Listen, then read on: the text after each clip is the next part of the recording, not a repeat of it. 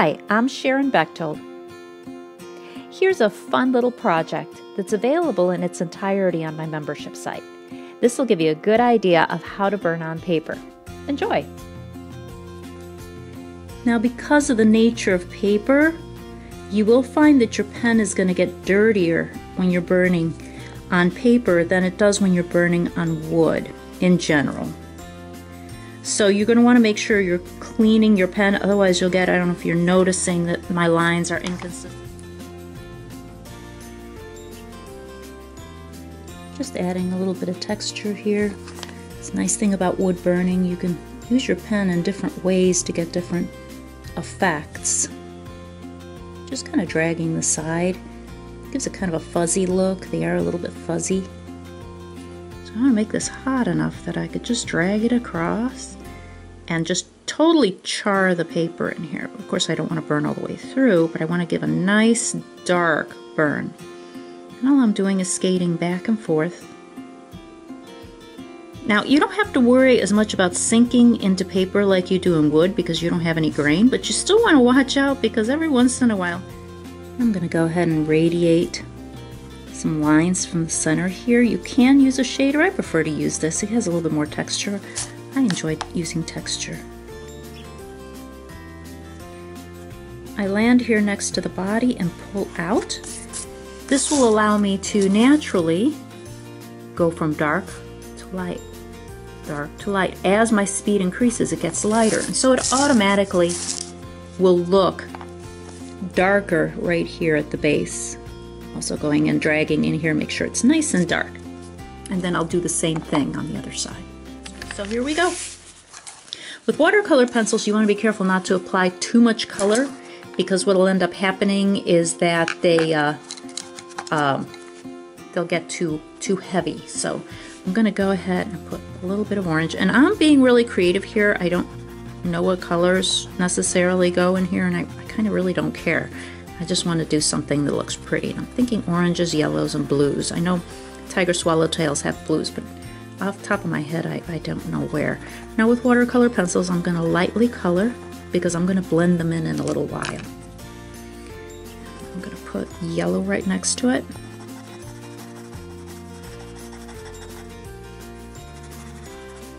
And I want to put some blue. Put a nice bright blue down here.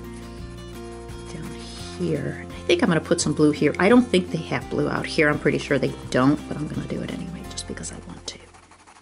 And because it's my butterfly.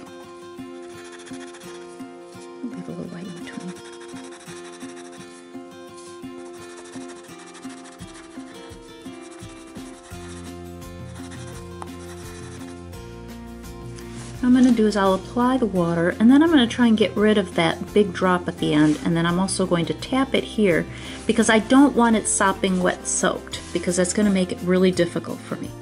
So apply a little bit of that here and see how it blends in. I want to be really careful because sometimes it gets gets really aggressive and sometimes it's just not enough. So this seems to be blending pretty good. I also don't want to add too much water because I'm actually not using watercolor paper. I'm using regular cardstock and um, they don't it doesn't always take real well with the, with the colors with water.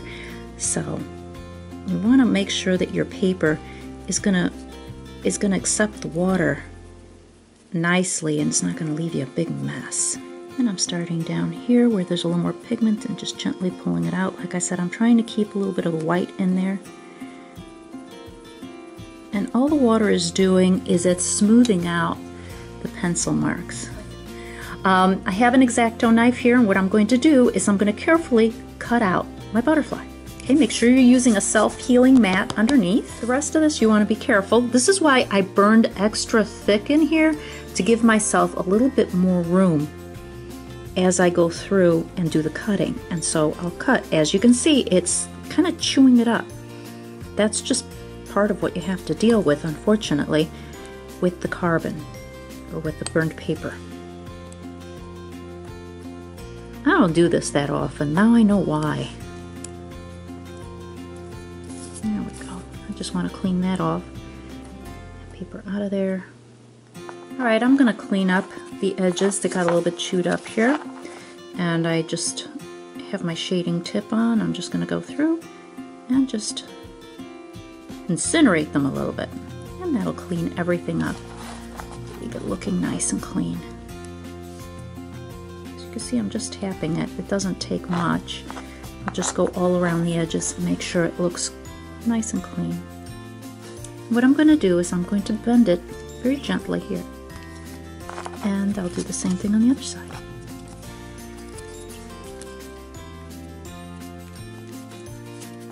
Just going to shape the cardstock to where I want it and give it a little bit of a three-dimensional look. So this is just a nice little project. You can adorn something, maybe a basket or something. You could put this on a, on a greeting card. If you put it on a greeting card, they sell these little foam stickers you could put down here and that'll, that'll give it a little bit of stability.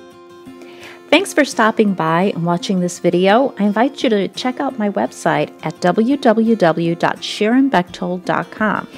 This little video has been an excerpt from the full training to do this project that's available in my membership site.